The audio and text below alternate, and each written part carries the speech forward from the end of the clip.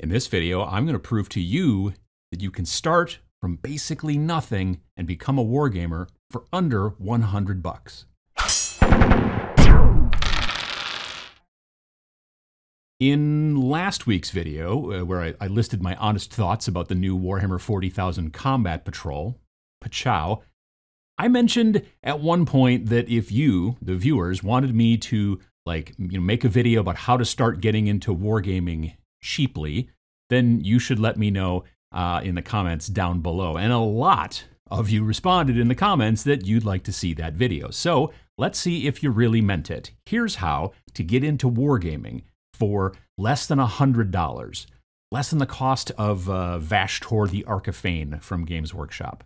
Now, we will start with some initial assumptions, things that are not included in the overall cost, things that you, you, you, probably have this stuff around your house. I'm assuming that you have access to water and a cup, you know, for cleaning and rinsing your paintbrushes. I assume that you have paper towel also for wiping off your paintbrush and stuff like that. Probably some six sided dice from maybe like an old board game, an old Yahtzee game, or something like that in your closet or whatever. I'm assuming you have some sort of tape measure or ruler. Look in your junk drawer in your kitchen. You might find something like that. And you also hopefully have some sort of materials of any kind to use for terrain books, soda cans. It's the type of stuff that they generally mention in most wargaming rule sets. You know, they're like, well, if you don't have any proper terrain, then you can just use, you know, books and, and soda cans. And that's what they always say. And, and lastly, kind of, uh, you know, some sort of a flat play area, like a kitchen table or maybe a bed or potentially the floor or maybe a stretch of sidewalk outside. You know, I'm assuming you have all of these things available to you already. Now, let's get started. Step one, let's go to the dollar store. Uh, I went to my local Dollar Tree, uh, hashtag not sponsored, which honestly should be called the dollar and a quarter tree at this point because everything is a buck 25 there now because of uh, inflation, I assume. But anyway, I found three things that we're going to need to become war gamers. Number one is super glue, also known as cyanoacrylate glue or CA glue. Um, you need that to glue generally your plastic things together, but unlike plastic cement, it'll also work on things that aren't plastic, like metal or resin, depending, you know, or whatever, or even cardboard and all kinds of things like that. You also need a craft knife, a craft knife, and I found a craft knife set with uh, all kinds of little blades and then the handle and all that kind of stuff and everything. You need that for scraping mold lines and trimming things and whatever. And then makeup brushes. Uh, makeup brushes you kind of need a little bit later once you start painting. They're really good for dry brushing and stuff like that. I made a video about dry brushing with makeup brushes and how it is a, I think, a pro strat.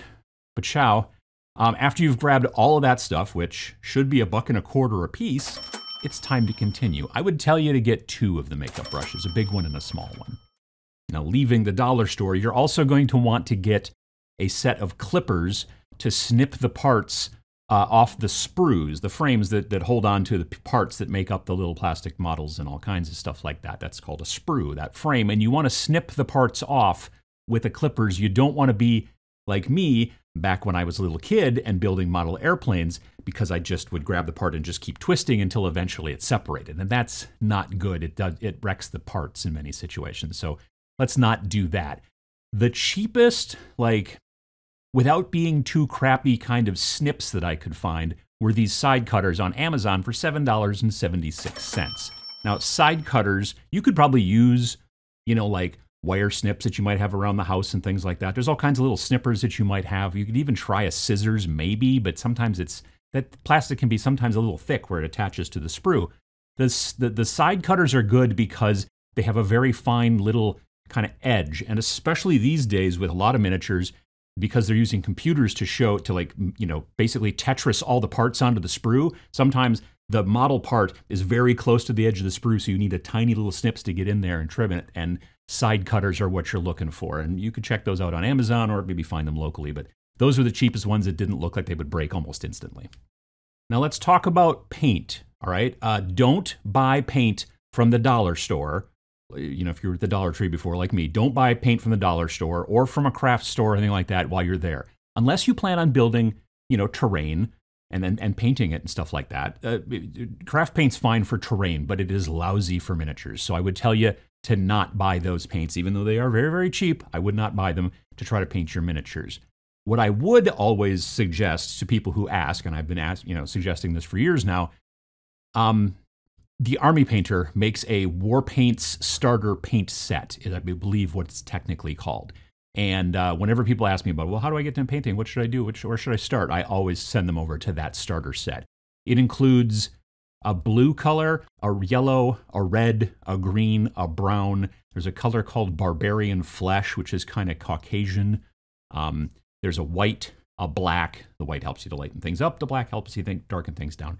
And a silver metallic as well. And then also a wash too, called Strong Tone Wash. And all of that comes in there also with a brush as well, like a nice little painting brush. This set retails for like 37 bucks, 36.99, but you might be able to get it cheaper at your local store. And it is a, a great starter kit. Now you're going to have to mix some colors if you're like, oh, I want orange. Well, you mix the, you know, the yellow and the red together and, and, and you want purple, it's blue and green. You, know, you, you can figure it out. Look it up online. But that's what you can start with, and it's a great paint set for starting.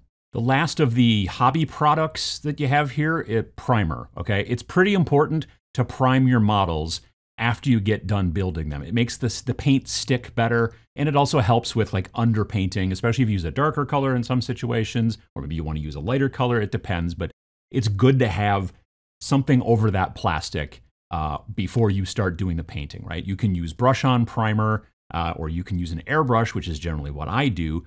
But the cheapest combination of like good quality and ease of use and then also speed, um, honestly, I always tell people Krylon camouflage paint. Uh, I did a review about it a billion years ago. Pachow. Uh, so, okay, camouflage paint, that does not mean that when you spray it, it looks all camouflage. That's not how it works. What it is, is it is a set of six different paints, and you only buy just one can at a time, whichever one you want. You don't have to buy them in a set. There's black, there's brown, like a real dark brown. There's two tans, a lighter one and a darker one, and two kind of like olive greens, a lighter one and a darker one. So you can pick whichever one of those you want. Maybe it's the black, maybe it's the brown, or maybe you're trying to paint a bunch of skeletons or something and you want to paint them real light. I would use one of the sand colors as a base, that kind of thing. It just works really well. And it doesn't have to be Krylon. Rust-Oleum makes a line of the exact same paints, basically, pretty much the same colors, although they don't perfectly match. So if you run out of Krylon and then you pick up the same color in Rust-Oleum, they won't 100% match. But they're generally quite good, both of them. They have a very flat, matte finish. They stick to plastic very well. Paint sticks to that stuff very well. It's, it's really good. Um, the only difference between the Krylon and the Rust-Oleum is maybe where you can find it.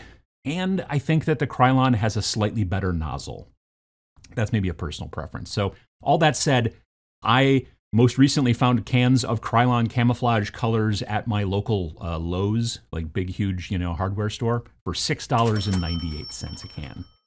So we got all that hobby stuff, but what about the actual rules, right? Like the game that we're actually going to play with these models that we're going to build and then paint with all this stuff that I've been talking about. My suggestion is Grimdark Future Firefight from One Page Rules. Now, One Page Rules makes a lot of different rule sets. Uh, they make sci fi stuff and they make fantasy stuff. I'm leaning towards the sci fi stuff here because I like it. And also, sci fi stuff, at least in miniatures, seems to be a little bit more popular than fantasy stuff. But if you wanted to do fantasy, then I would tell you to use one page rules Age of Fantasy Skirmish. That's the basically the equivalent to Grimdark Future Firefight. And these are both skirmish style games where you don't have to use an entire giant army, you can use a smaller group of models. Um, you can download it for free, the, the rules, and I suggest that you do, like kind of kick the tires a little bit and give it a try. But it's better, honestly, if you buy it for five bucks. Um, th- there's a version you can buy for five bucks over at Wargame Vault. I'll put a, a link down in the description below. And when you buy it for five bucks, number one, that helps to support the company so they can keep making this stuff. But also, two, you get almost twice the amount of rules in that booklet. You get extra rules for like terrain and you know campaign stuff and all kinds of other stuff and a bunch of modular add-ons that you can decide to use and all that stuff. For 5 bucks for a PDF, it's a pretty good deal. And they have a really sweet army builder like app on their website that makes it really super easy and quick to build your own armies for Grimdark Future Firefight and all of their other games. So we've got all of that done. Now, which models are we going to use? Well, if you have a 3D printer, then you are frankly spoiled for choice. You, there are tens of thousands of STLs out there for you to use at all kinds of places. My Mini Factory, Cults 3D. uh, all the other ones. There's, but I'm going to assume here in this situation, let's say you don't have a 3D printer, which is fine. That's that's nothing wrong. Um, I'm going to suggest Wargames Atlantic then for your models. Wargames Atlantic is a great company that makes a lot of different kinds of nice hard plastic models. Um, if you're playing Grimdark Future Firefight, then I might suggest a box of cannon fodder for $34.95. You will get uh, 30 models. Again, like I said, hard plastic on sprues, different parts and all the stuff that comes with them, and so many heads in that box, so you have lots of options. Um, but yeah, that's, that's 30 models for $34.95 in that box, which will be way more than enough to build a list for Grimdark Future Firefight because it's a skirmish game and not a big army game. You might, with that box, because it has 30, a bunch of their other boxes have 24 models, and for the same price, this box has got 30. You might even be able to build two forces out of that one box, and then you and a friend could play against each other.